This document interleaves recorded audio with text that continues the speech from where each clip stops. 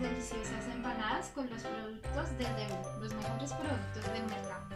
Eh, para nuestra receta vamos a necesitar un litro de aceite, dos libras de harina de trigo, dos tomates, una libra de arroz, dos cebollas, cuatro huevos, una libra de carne molida. Hicimos aquí fue que pusimos a tibiar agua con sal y color al gusto. Entonces bueno, ponemos nuestra harina ahí.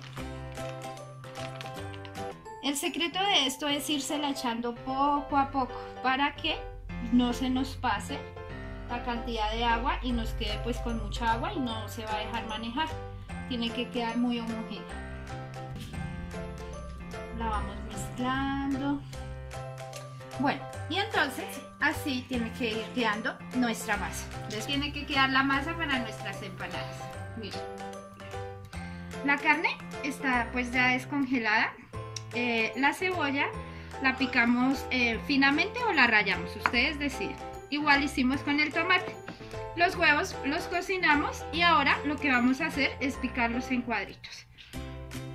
En una paila vamos a poner la cebolla sin aceite que pierda el jugo de la cebolla y así no nos queda sabiendo tanta cebolla, sino que le vamos a dar un sabor muy delicioso. Entonces le ponemos un poquito de aceite a echarle el tomate y vamos a dejar que nuestro guiso se cocine un poco. Ahora vamos a poner la carne molida. Ahora lo que vamos a hacer es esperar a que la carne se cocine con nuestro guiso. Vamos a echar el arroz. Es un plato típico colombiano. y, y el huevo. Y vamos a mezclar bien para que quede listo nuestro relleno para las empanadas. ¿Se preguntaban para qué era el litro de aceite? Claro, para fritar las empanadas. vamos a partir unos pedacitos de masa. Y con el rodillo lo vamos a extender. Ahora vamos a poner nuestra masita en el... Y vamos a rellenarlas.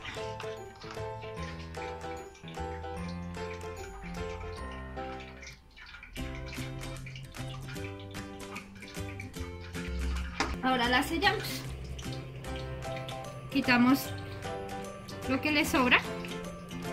Así debe de quedar nuestra empanada. Vamos a poner las empanadas con mucho cuidado de no irnos a quemar. ¿Listo? Este es nuestro resultado final de nuestras deliciosas empanadas con productos del D1. Quiero que vean lo crocante que queda. Escuchen, esta delicia de empanada, calientita. No olvidemos acompañarlas con las mejores salsas. Salsa de tomate, mostaza, la que a mí más me gusta, la mostanesa.